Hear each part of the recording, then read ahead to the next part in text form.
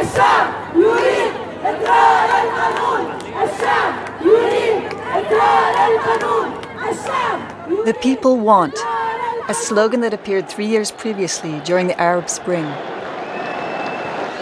In Tunis, women were in the front line demanding the downfall of the dictatorship.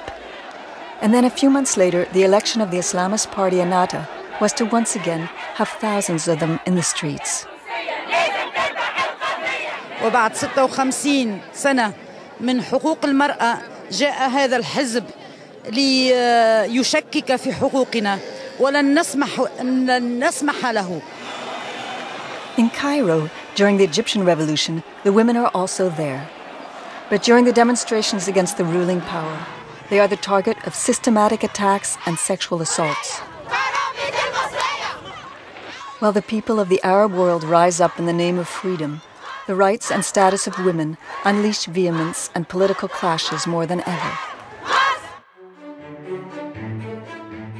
And yet, 50 years ago, women's freedom and emancipation already seemed a sure destiny for Arab women. While their country became independent, some women, such as Egyptian actresses and dancers, proudly showed off their free and sensual bodies.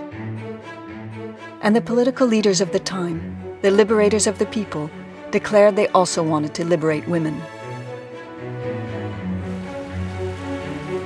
Fifty years on, however, Arab women are having to fight more than ever to conquer or defend the rights they so dearly acquired.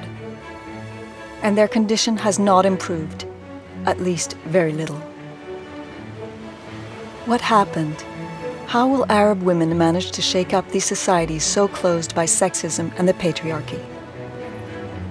This film recounts their struggle and their history.